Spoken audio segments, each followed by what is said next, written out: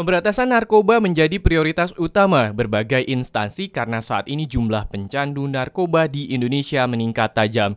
Anggota Komisi 3 DPR Adis Kadir mengatakan peredaran narkoba di Indonesia sudah tidak bisa ditolerir lagi.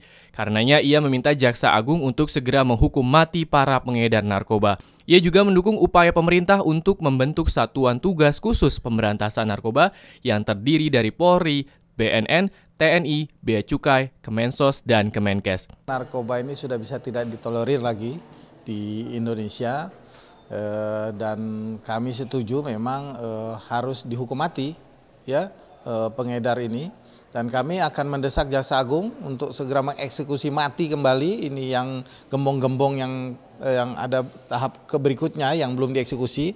Karena memper, biar memperlihatkan kepada mereka gembong narkoba ini bahwa kita penegak hukum di Indonesia tidak main-main untuk menegakkan hukum itu. Hal senada juga dikatakan Ruhut Sitompul. Menurutnya untuk memutus mata rantai peredaran narkoba di Indonesia adalah dengan sikap tegas Jaksa Agung dalam menghukum mati para pengedar dan gembong narkoba jalan satu-satunya memutus mata rantai, Kejaksaan Agung harus tegas.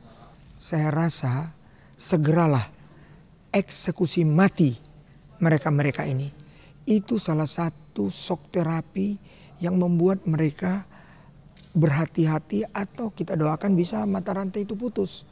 Tapi kalau rehabilitasi bahkan apa yang dikatakan Pak Budi Wases. Andri, TVR Parlemen, melaporkan.